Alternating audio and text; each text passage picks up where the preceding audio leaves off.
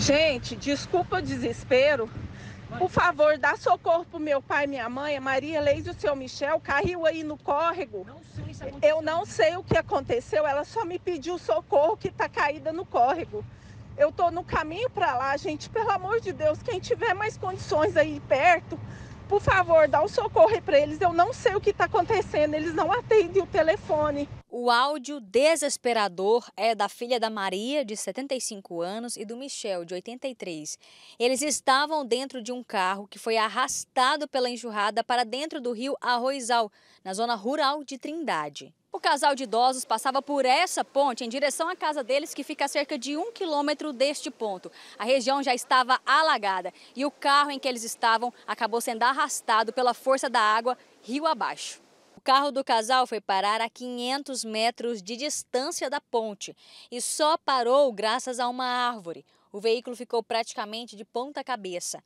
O casal, mesmo apavorado, conseguiu ligar para as filhas e pedir socorro elas acionaram os bombeiros que fizeram o resgate. A ocorrência em si foi uma ocorrência extremamente complexa.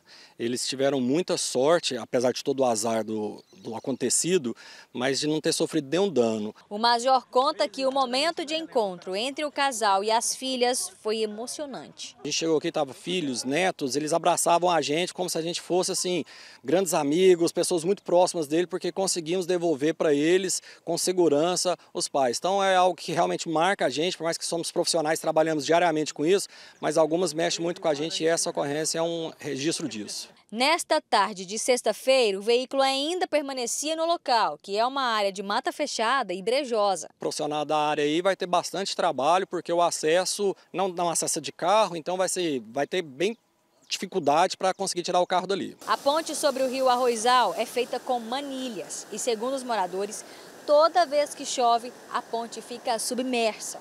Toda vez que chove, alaga. Né? Claro, eu entendo que ontem foi uma chuva que foi muito forte, mas essa situação que aconteceu não é raridade. Todas as vezes que chove, alaga, é, a gente fica ilhado, né? não tem outro acesso à, à região aqui. A prefeitura disse que fará uma estrutura de contenção nas laterais da ponte e que vai colocar um aviso sobre os riscos de alagamento na região. Maria e Michel estão bem, na casa das filhas em Goiânia, se recuperando do susto. Nós já iniciamos um trabalho aqui paliativo, já estava sendo feito um trabalho de manutenção, mas ele não, não foi suficiente para evitar né, uns transtornos maiores. Nós temos também um trabalho para fazer a longo prazo, né, que é nos próximos, já tem quatro meses que nós iniciamos o estudo de revitalização dessa via e também dessa ponte. Nós vamos quadriplicar a vazão dela, porque na verdade não é uma ponte, isso aqui é um bueiro né, feito há muitos anos atrás, é, e hoje não suporta a realidade.